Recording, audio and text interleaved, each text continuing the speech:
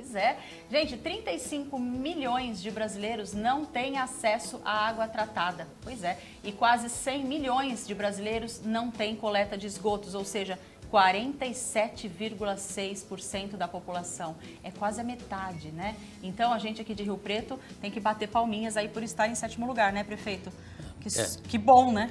Muito boa notícia, né? E esse Instituto Trata Brasil, mira, ele é, colhe as informações do Ministério do Desenvolvimento Regional, uhum. da secretaria que cuida do saneamento básico do Brasil e que apresenta estes números. Uhum. Então, você ter uma posição de vanguarda é, na água de qualidade e depois no afastamento do esgoto e no seu tratamento, uhum. devolvendo ao Rio Preto é, uma água é, que foi recepcionada, né? Porque uhum. é muito simples, às vezes abrir a torneira, dar uma descarga, mas tudo isso tem toda uma, uma tratativa, tem todo um trabalho por trás disso. Falta água um dia só para a gente ver o Nossa, quanto que a gente valoriza, e, né? E abrir aqui, a torneira e Mira, você não estava aqui ainda em 2000 quando da primeira eleição, esse era o grande tema. Uhum. É, faltava água em São José do Rio Preto. E nos propusemos a isso. Uhum. E foi com determinação que criamos o SEMAI, que é uma outra, é, um, é uma autarquia importante, porque a prefeitura ela tem todo o serviço de conservação da cidade e esse serviço de saneamento de água e de esgoto, que foi uma autarquia que nós criamos em 2001. Em 2001 resolvemos o problema da água, depois faltava tratar o esgoto. Tinha apenas 7% do esgoto tratado. 7% apenas. É, não, 7 não, 3% do esgoto tá. tratado. E aí nós fizemos todo um trabalho e hoje nós temos 100% de esgoto tratado. É e faltam apenas alguns loteamentos que estão um pouco mais distantes uhum. e que estão no processo de regularização.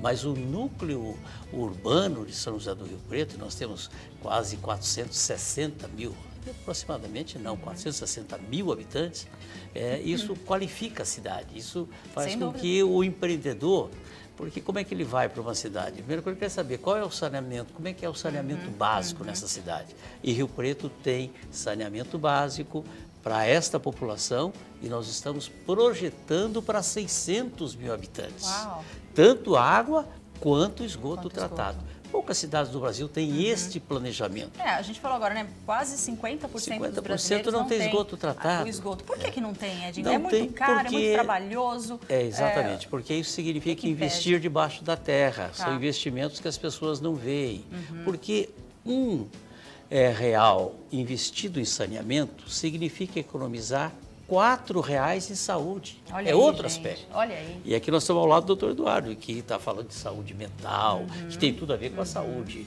física, né? Então, esta é a preocupação. Outra, né? Por isso que Rio Preto hoje, quando fala, Rio Preto hoje tem uma das maiores expectativas de vida. É verdade, uhum. porque nós estamos cuidando do saneamento. Tem hoje uma das menores, menores índices de mortalidade infantil. Então, nós temos hoje é, índices de primeiro mundo.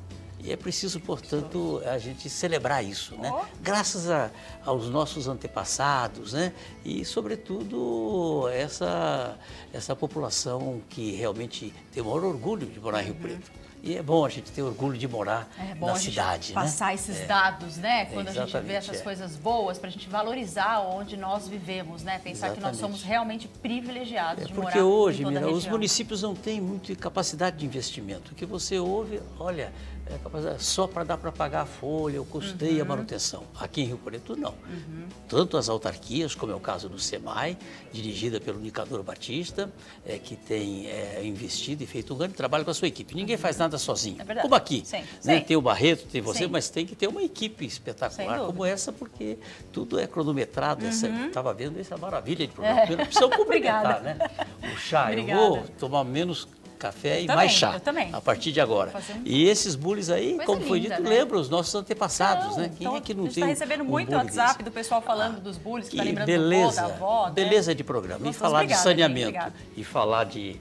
É, Acordar falar mais cedo? de qualidade de vida, É levantar demais, mais né? cedo. Com certeza. E a gente separou, o O prefeito... teu programa está um programa é, múltiplo, né? É, Tá nossa, certo? a Um gente não para. A gente não para, não para. É o aqui, ali, Tantos aqui. temas, é. Todo mundo. É tudo tema gostoso, é, de informação, leve na hora do almoço, porque eu acho que a hora do almoço tem que ser assim. Tem que ser ou para você aprender alguma coisa, ou para você chorar de emoção junto comigo, ou para você dar risada com as minhas palhaçadas, porque é, chega de tristeza. Não, e esse dinamismo seu eu me identifico Chega. muito, porque aí você falou que é Leolina, né?